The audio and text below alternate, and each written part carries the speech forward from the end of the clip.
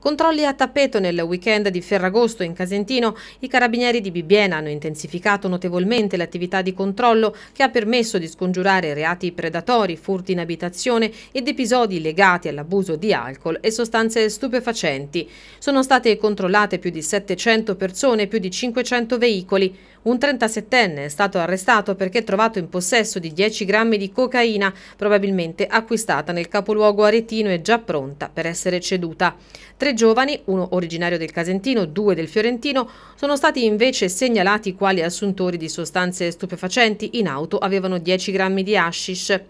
Un quarantenne bibbionese è stato invece denunciato dai carabinieri perché alla guida della propria auto tra Castello Focognano e Talla stava per causare un incidente davvero pericoloso. Nel sangue aveva una considerevole quantità di alcol. Infine, i carabinieri di Badia Prataglia hanno notificato il provvedimento di divieto di ritorno all'uomo marchigiano che a margine della competizione Trial Sacred Forest aveva aggredito i militari ed era stato arrestato per resistenza a pubblico ufficiale.